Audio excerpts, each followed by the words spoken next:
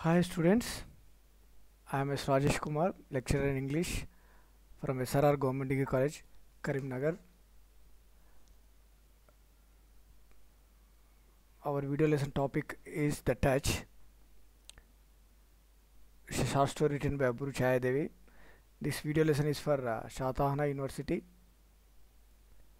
semester 3 students. So this is the, this is a short story written by Abburi Chayadevi in Telugu and it is translated into English by Dr. Mohan Raj. So let us go into the detail of the uh, story. Uh, before going to detail, uh, let us know about the author. Abburi Chayadevi is a well-known Telugu fiction writer. She was born on 13 October 1933 in Rajahmundry, AP. She won Sahitya Academy Award in Telugu in 2005 for Tanamargam, a collection of short stories. Her famous work is Bonsai Lives. She had worked as a librarian at Jawaharlal Nehru University, New Delhi, and settled down in Hyderabad after her retirement. She married Abburi Vardeshwar Rao, who came from a family of uh, literatures. Most of her stories deal with the problems of women who face various kinds of discrimination in a patriarchal society. Abburi Chayadevi's stories have been translated into English and Spanish besides many Indian languages. She passed away on 20th June 2019. This short story, The Touch, is translated into English by Jayasri. The Touch short story in Telugu is Sparsha. So, the Tanamargam won Sahitya Academy Award in 2005. It's a collection of star story, short stories. This Tanamargam is about uh, the exploitation of women in the guise of family bonds. So most of her uh, stories deal with the uh, problems of women. Uh, she is a feminist author. So this is also the same kind of story. It is about a married woman. It is uh, about a married woman who craves for her father's touch in her childhood. So, ironically, at the end of the story, it is the father who craves for the touch of his daughter. This is the irony in the story. And you know, uh, in Indian society, in, in, in Indian culture, that the male child is is given much preference in the society and in the family because the parents think that the male child is one who perpetuates the family line and also one who performs the last rites of the parents to free them from their earthly bonds. But on the other hand, uh, daughters also love and respect their parents and crave for their attention as much as sons. So, in this story, we see the discrimination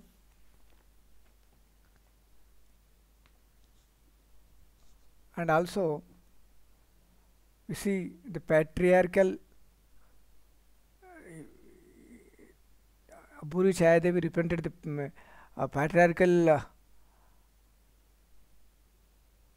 society, Indian society in the short story.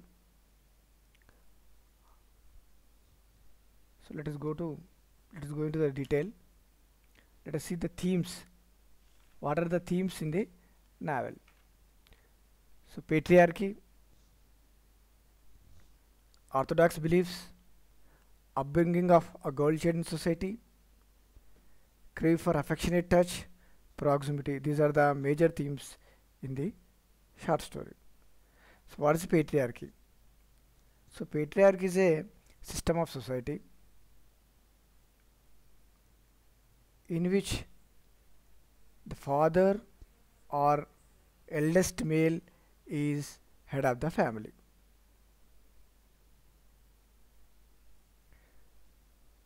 So patriarchal uh, system is that male is the head of the family maybe brother or father eldest male is the head of the family the power lies in the hands of the head of the family. Father or uh, eldest male takes the decisions of the children in the family and woman has no role in this system. They are excluded from this from family decisions and uh, all these things. So these this is also a theme in the short story. Second one orthodox beliefs. So orthodox orthodox uh, is that having uh, traditional beliefs in the religious group so in this uh, story also we see orthodox beliefs of a brahmin father is orthodox way of life we see in this story especially uh, madi okay. so the traditional belief. Next uh, theme is upbringing of a girl child in society. So it is also we see this theme also in the short story. So this story focuses on uh, the issues of parenting also. So we see how a girl child is taken care in the family how importance is given to the sons in Indian society. Because parents think that son is a perpetuator. Perpetuate he perpetuates the family line. So these are the uh, beliefs of the parents. And uh, you know there was no girl child education. She was she is mostly neglected in the family and next thing is crave for affectionate touch I uh, have already told you that in this story that Sparsh that the daughter uh, craves for the affectionate touch of her father since her childhood but the touch is denied. She always felt intimidated by his father's imposing presence. But at the end, father craves for the touch of his daughter. So another theme is proximity. Proximity is closeness. Always the narrator wants to be close to the father but he keeps her at a distance in the name of discipline madi and other uh, traditional beliefs or orthodox beliefs which exist in Indian society. So these are the themes. So let us go into the story. So the story is about narrator. Narrator is a married woman. It is between uh, narrator and her 80 years old ailing father. Her father is uh, bedridden. Is an is an octogenarian. So when his father is ill in his illness, the narrator visits her father. when she enters the threshold. Her father asks her to sit on his cot making space for her patting the place on the cot next to him. And he this old man takes her hand and presses her hand inquires about her health about her uh, children about her husband.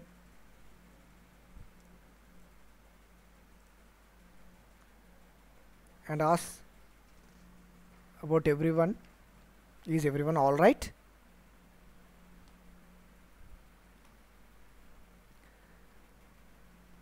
So at this juncture at this situation the narrator now she is a married woman. She has to take her husband's permission to visit her bedridden father her ailing father. Now she sitting on the cot she recollects her journey as a teenager with her father in a rickshaw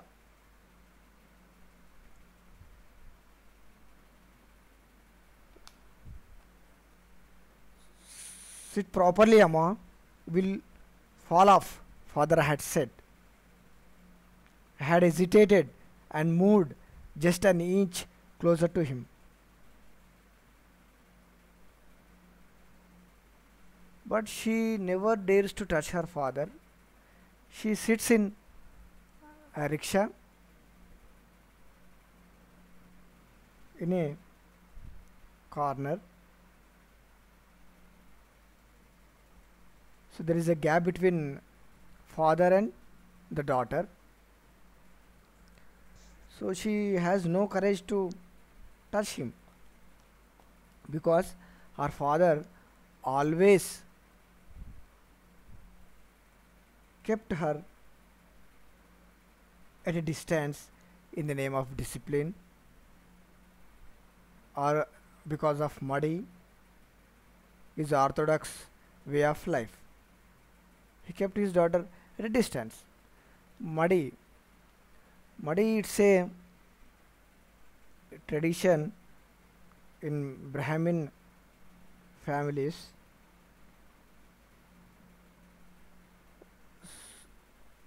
So they brahmin families they had to wear only clothes which had been washed and dried and the clothes should remain untouched by any person who was not madi. So this is madi.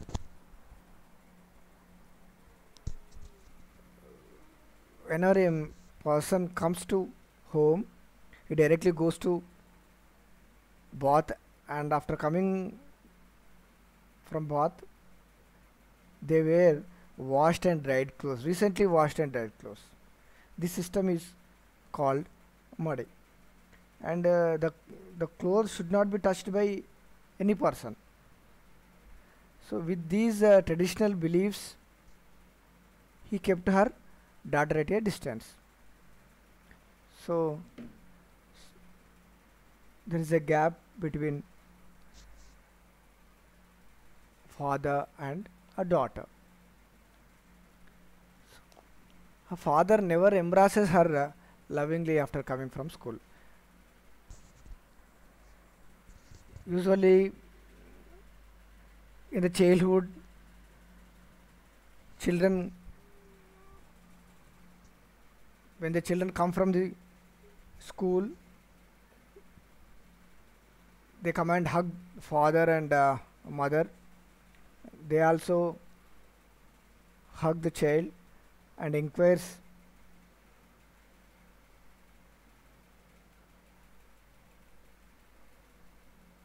and casually questions question them. Then they can open up. But in the narrator's life this not happen. When a when father or mother hugs a hugs child and casually question about the school and the subjects they naturally open up and uh, they uh, like happy birds they tell everything what happened in the school. But this thing is not happened in narrator's life. As soon as she enters the home enters home you would only ask about scores score in mathematics. Have you brought your report card? How much did you score in maths? So after taking these questions she couldn't uh, open her mouth and her you know her creativity died there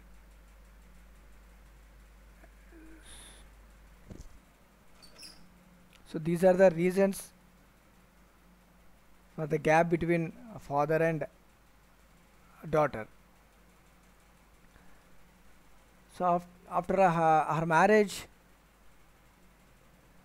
if she wants to visit her, her father she has to take her husband permission so here another uh, male is uh, dominating in the childhood. Her father dominated. Even though she craves for touch he kept her at a distance. And after marriage as a married woman she is also controlled by her husband a male. So with this we can understand a woman situation woman's identity in the indian family system. So sitting close to her father it is a it is like a revive a faint memory because uh, she has no uh, wonderful memories of spending life or childhood with her father. So it's like a faint memory. So she notices some bugs on his cot.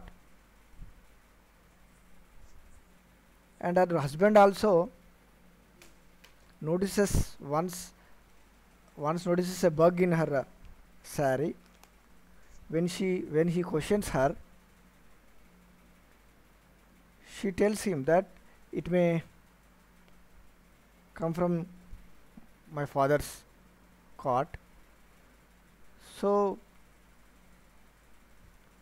when the, when narrator wants to visit her father her husband cautions her warns her not to sit on her father's bed.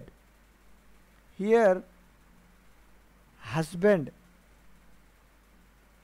is controlling her and he is uh, not allowing her to touch her father.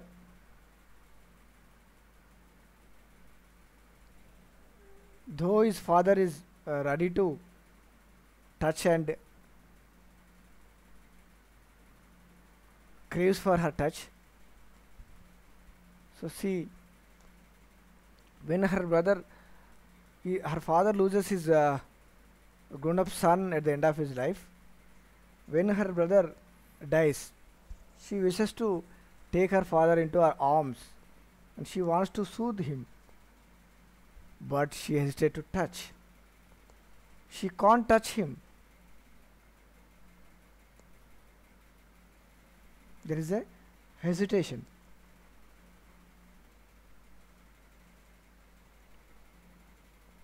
so her, her father asks her requests her is feeling very depressed he strokes her hand and says to her daughter, requests her daughter to move to the town so that he can stay with her. But this daughter looks at him helplessly. She is now helpless. Though she wants to take care of her father in her old age, in her illness, she has to take the permission of her in laws or her husband. And uh, her, her husband may not give permission to to allow his father to live with them. Even though they moved to town even though they move to town. Because already uh, her husband wants her cautions her not to sit on her father's bed. So again see her identity. Now she looks at him helplessly father doesn't speak and uh, he's silent. So he strokes her hand. At that time she feels that her education her job and everything else appears vain and everything looks superficial to her. So she sits for a while uh, before uh, leaving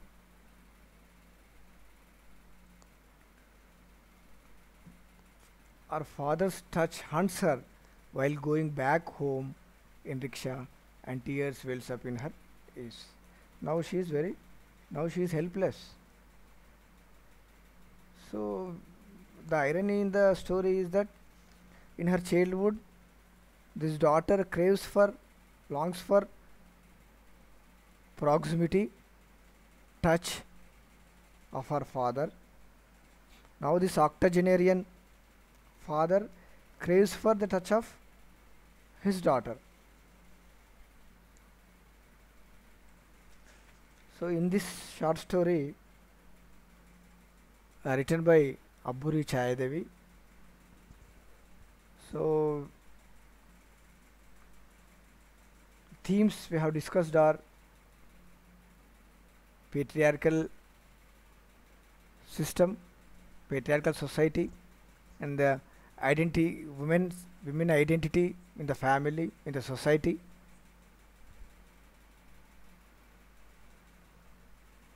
Girl child upbringing issues of parenting orthodoxy orthodox beliefs. We see, we see all, we all we see all these issues in the story